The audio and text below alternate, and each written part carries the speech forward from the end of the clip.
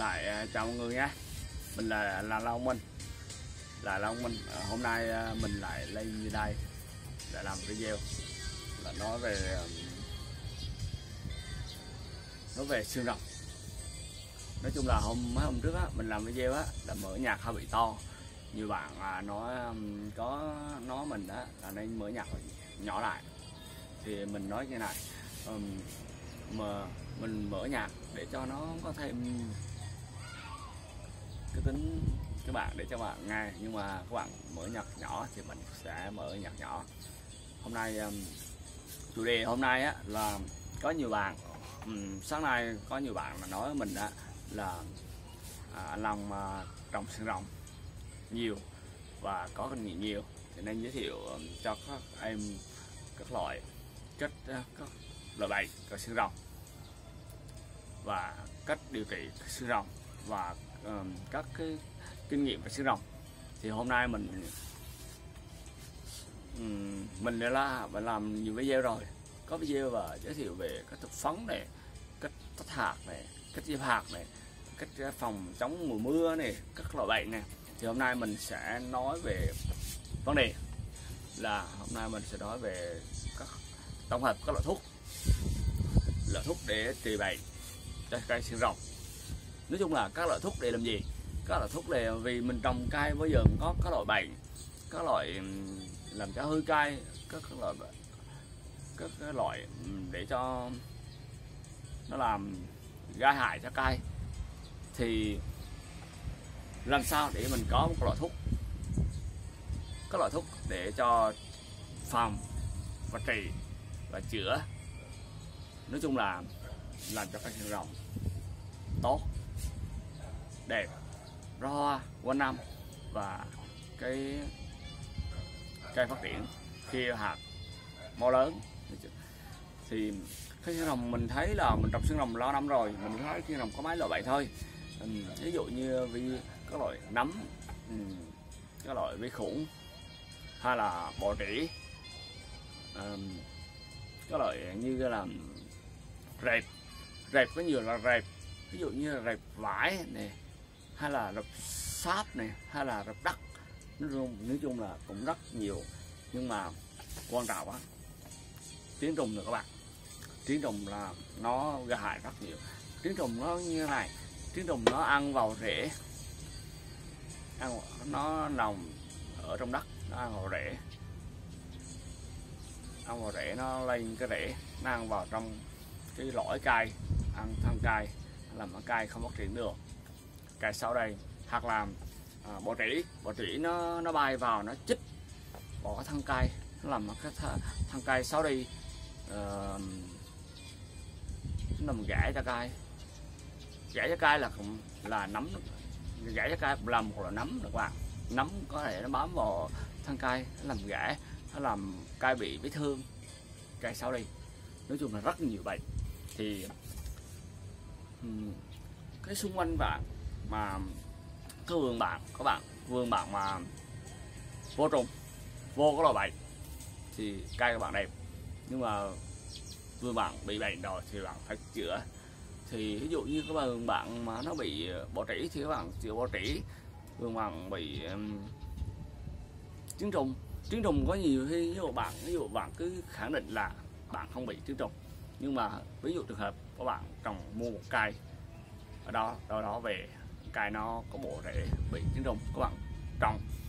Nó lai trứng rồng qua cái khác. Đó là một cách. Hay là nó bị bọ rễ. Bọ rễ là một cái câu nhỏ nhỏ. Nó bay nó bay được các bạn. Mình thấy là con bọ trĩ bay được. Nó ở đâu đó. Nó ở trong nó nằm ở trong cây của bạn mua về. Hay là những cái cây xung quanh vườn mà các bạn nó bay tới nó chích vô cây. Nó bọ rễ.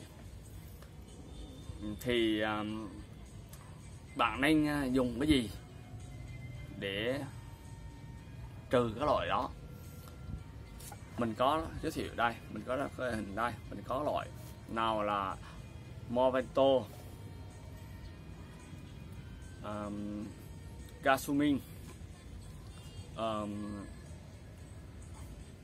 Tevingo Massa Radian Avi rồi Atonis rồi thuốc tí. Nói chung là mình sẽ giới thiệu các bạn từng loại, các loại mà để làm cho khu vườn bạn sạch đầy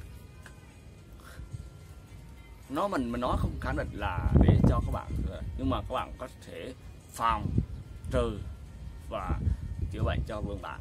Ví dụ các bạn vườn mà các bạn mà bị à, các loại rệp sáp, bọ rễ. Rệp sáp nó nó bu vào thân. Nó ăn cho cay, nó ăn hút nhựa vào cay. Ha bọ trĩ nó chích vào thân, hút nhựa cay. Nhưng mà làm, nhất là bọ trĩ. Bọ trĩ là mình thấy vừa làm có bọ trĩ. Nó nó bám vào thân cay. Nó lại ăn, nó chích vào thân cay. Nó làm vết thương, nó làm cho cay nó bị gãy lỡ sáu đi. Thì các bạn, đây. Các bạn, để chữa bọ trĩ, các bạn có thể dùng momento.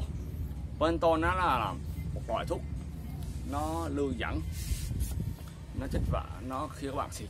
Hay là các bạn các bạn xịt vào thân cây á nó lưu dẫn nó bám vào trong thân cây nó thấm vào thân cây nó bám vào để nó sẽ trị được các loại đẹp loại bọ trĩ để cho cây nhất là bọ trĩ các bạn. Uhm, thì nó có thể là, là phòng cho các bạn trị các bạn có rệp có là bọ trĩ có một loại giống như thế này giống như Monro này. Thì các bạn có thể dùng thêm. Nếu các bạn không mua được à, uh, Monro các bạn có thể mua Maxa. Maxa này á là có thể trị được các loại như rài đẹp sát các bạn. Và các bạn xịt xịt trên thằng tay nó bám lên tay mà mình có hôm trước mình có làm video á các bạn nên xịt xịt như thế nào? Xịt thuốc á thì các bạn nên xịt buổi sáng buổi sáng 4 5 giờ, các bạn xịt để tránh cái nắng đi khi xịt thuốc á, thuốc nó dính vào thân cay và nắng lên, nó tốt nhất không nên xịt buổi chiều. Nói chung mà mình có nói, tưới cay, độ ẩm cay, tưới nước, không nên tưới vào từ 3 giờ trở lên 3 giờ chiều các bạn.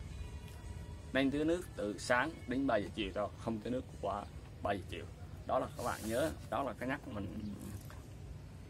Thì uh, mansa này có thể xịt cho làm nó nó trừ được ờ, uh, đẹp sáp này cái loại um, rài này bọ trĩ này.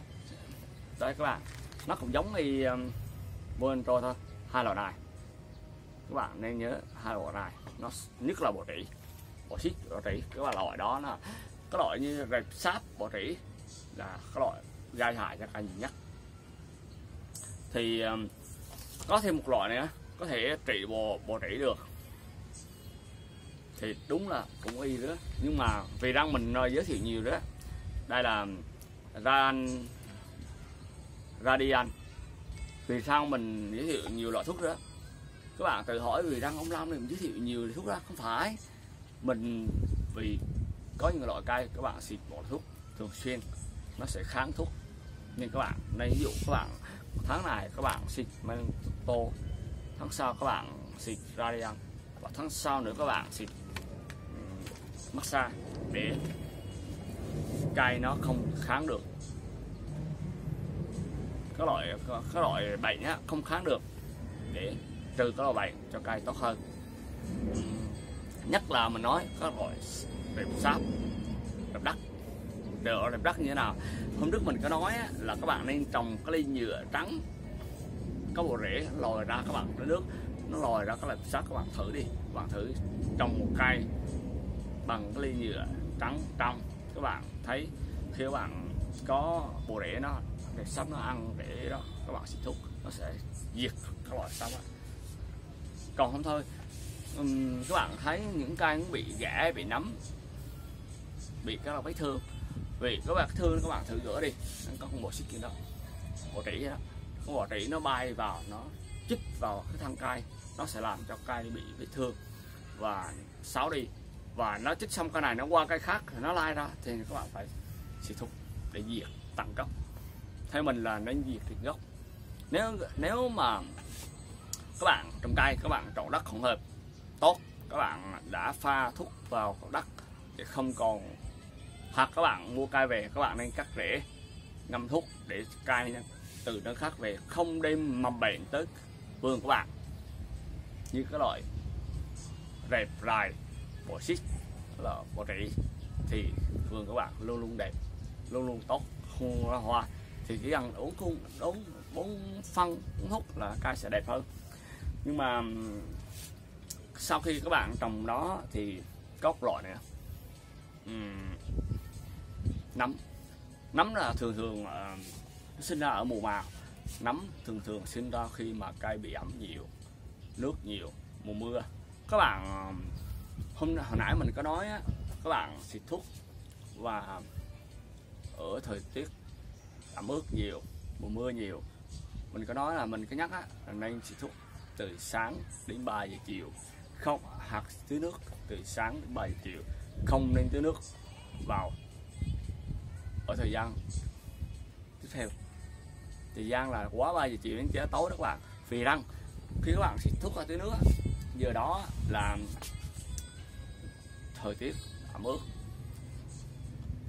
Mà thời tiết ẩm ướt là các bạn biết rồi là thời điểm để cho những cái cái con nấm con bò rệp lại nó sinh sôi phát triển. Nó hoạt động trong giờ thời um, cái bộ loại nấm có loại ờ, rài nó, nó hoạt động ở đâu thời gian nào. Các bạn nên nhớ là những thời điểm thời điểm chiều ẩm ướt là có loại nấm vi khuẩn có loại rài hoạt động. Thành ra mình không xịt nước không xịt thuốc vào thời điểm đó. Bởi rằng các bạn tưới nước vào thời điểm đó là nó càng gây độ ẩm để càng điều kiện tạo điều kiện cho các loại đó hoạt động. Các bạn không nên các bạn xịt nước tưới nước nên nước từ buổi sáng đến 7 giờ chiều. Và tưới thuốc cũng nữa các bạn tưới thuốc vào buổi sáng để cho, buổi sáng để tránh cái nắng đi. Các bạn, vì các bạn xịt thuốc nhiều quá, nắng lên nó, ngay thời điểm nắng, nó cháy cài nó hư cài nó chịu cài cài chịu nào nó hư có một loại nữa tiếng trùng vườn nào mình cũng nghe nói là tiếng trùng nào tiếng trùng nào tiếng trùng nó ăn ở bầu rễ, nó ăn lên lõi ăn lên da gai nó phân là cay làm cay không phát triển được, cay không phát triển nó cay chết cây hơi sáu cay. Thì tiếng đồng cốc loại đây, mình ta vigo tay vigo các bạn. Mình để sát các bạn.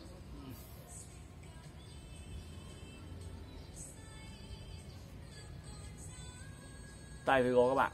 Các bạn thấy chưa?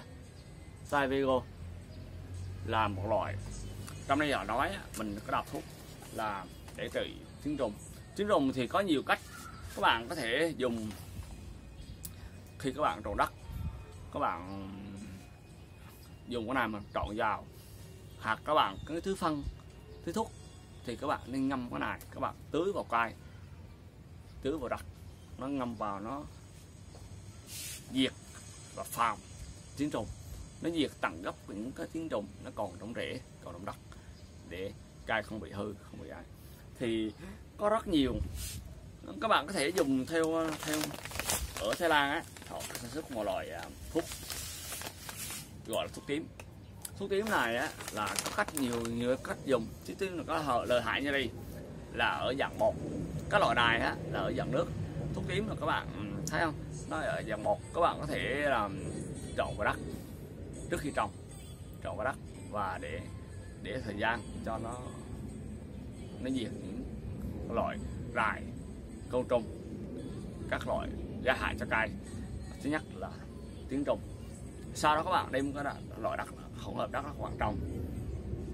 Hoặc là các bạn trồng rồi á, thì các bạn có thể lấy cái này các bạn rải những bề mặt của chậu á, để cho nó khi các bạn tưới nước nó xuống ở dưới đất á, nó diệt được cái loại nó phòng và diệt được cái loại bậy gây hại cây và có thể diệt được tiếng trùng đó là những loại à, còn nếu các bạn muốn mà vườn các bạn sạch sẽ, không bị cái rầy nấm các loại rầy các loại côn trùng gây hại các bạn có thể xịt. Bi hopper bi hopper này á, là nó trì các loại nhầy đỏ. Nhầy đỏ có hai đó mà, ở trong các bạn cứ thử đi, là trong các táo các bạn thử, táo. Các bạn thấy con nhện nhỏ nhỏ màu đỏ, cũng chạy chạy nhìn đỏ nó răng nó chích vào cây chích vào cây nó làm cây bị gãy, bị các loại vết thương. Thì các bạn, vườn các bạn á, ở đất, ở tráo hay là ở trên cây nó bò bò xung quanh. Thì các bạn nên xịt loại thuốc này, xịt quanh, xịt diệt để cho nó không còn bị, nhìn đỏ các loại rệp nữa. Và các loại thuốc này, loại bi hopper này à nó diệt các loại rệp các loại dài loại gì đó để vườn của bạn không có con nào bị gọi là gây hại cho vườn siêu đồng của bạn. Đó là những thuốc mình mình giới thiệu những cái loại thuốc mà gọi là giới thiệu uh, các loại thuốc để các bạn phòng cho vườn của bạn. Nào là bọ trĩ nè nào là vi nấm vi nấm các loại nấm nè nào rệp nè rệp sáp nè nào rồi uh, nhìn đỏ nè rồi à, trí trùng nè nhưng mà các bạn phòng, chống và trừ các loại bệnh thì các bạn nên, sau đó thì các bạn nên tìm các loại phân để tăng trưởng cho cây cho cây phát triển. Thì mình có giới thiệu luôn là các loại, các bạn nên dùng B1 B1 làm gì? Kích thích cây phát triển, cho cây kích thích rễ, kích thích cây lớp da, cho cây đẹp, da đẹp phát triển. Và nếu thường xuyên các bạn trong nếu mà trong ờ, các bạn ngại dùng phân bò để trộn cho đất tốt cho phát triển thì các bạn sẽ dùng phân tăng chậm. Cái loại phân tăng chậm này á là nó có hai đi. Nó khi các bạn rải trên bề mặt của lớp chậu á thời gian các bạn tưới nước á nó tự nó tự tan ra nó chảy xuống cho rễ nó ăn tốt. Và sợ lao sang ngày á, thì các bạn còn y và trong nó rộng. Thì ờ, thì sau thời gian các bạn sẽ theo dõi được là um, thế này thời gian thì các bạn còn không thì à các bạn biết là cây nào hết phân rồi các bạn có thể để thêm. Như thế thôi đơn giản mình giới thiệu vài một, vài kinh nghiệm của mình là về tổng hợp các loại thuốc để phòng bệnh cho cây xương rồng. Và phòng bệnh cho cây xương rồng có mấy loại thôi. Kiến trùng nè vi nấm nè bẹp nè bọ trĩ nè uh, nhầy đỏ nè rồi sau đó các bạn nên nhớ là nên tưới phân. Hỗn hợp đất các bạn, trộn hỗn hợp đất còn tốt, phân bò tốt thì thôi, khó khăn. Nếu các bạn, nếu lâu ngày nó phân bò hết rồi chắc thì các bạn nên dùng phân tăng chậm để tăng hoặc là bé ngọt. Các bạn tăng thêm cái dinh dưỡng cho cây để cây tốt hơn, đẹp hơn. Và cây á, mình nói rồi, hỗn hợp đất tốt môi trường xung quanh tốt, thì cây sẽ phát triển. Thì cây phát triển là trong điều kiện của bạn gieo hạt sẽ khoảng từ hai năm rưỡi đến ba năm, cây sẽ ra hoa. Cây đủ kích thước 3 cm cây ra hoa. Mà các bạn, nếu mà thời điều kiện các bạn trồng đất tốt, cây tốt mình nắng nhiều nữa thì vườn của bạn sẽ đài hoa. Đài hoa thì đài hoa giống cái vườn của Long Minh đấy vườn Long Minh luôn đài hoa. Thì các bạn thấy các bạn xem video thấy hay á, thì các bạn nhớ like và đăng ký cho mình và mình sẽ làm rất nhiều video nữa để cùng các bạn tạo ra một vườn xương rồng đẹp cây tốt ra hoa xung quanh năm. Mình là Long Minh. Chào các bạn. Cảm ơn các bạn nhé.